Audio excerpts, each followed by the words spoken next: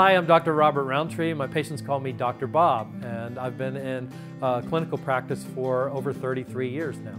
I want to talk to you about a phenomenal new product called NiaCel. The technical term for this is a long word, nicotinamide riboside. What it is, is a, a chemical variation on the standard B vitamin niacin. But that simple variation, adding a sugar called ribose to niacin, makes all the difference. There are now a number of studies in the medical journals that have shown that nicotinamide riboside increases something in our bodies called NAD.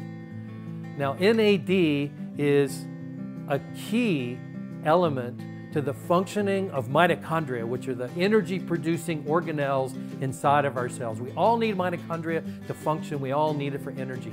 As we age, NAD levels drop. And so the race has been on amongst senior scientists around the world trying to figure out ways to increase NAD. Well, nicotinamide riboside, NiaCel, is really a breakthrough because it's the first compound that's been shown to raise NAD levels when taken by mouth. Other compounds, other chemicals have been shown to do that, but they require injections. They have to be given, you know, in, in fairly large quantities.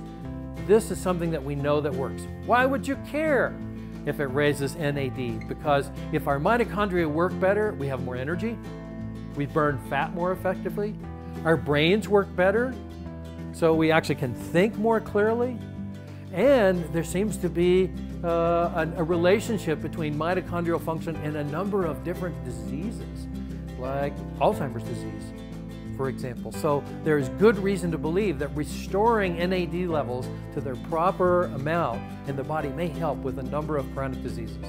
We've had reports that people have started taking NiaCel and within two days have noticed a significant increase in their stamina. Uh, for example, I have a very good friend who's a, who's a serious mountain biker, and he started taking the NiaCel before he would go do climbs on his bike and immediately noticed a jump in stamina. We've had this kind of report from, from athletes uh, all over the country, really.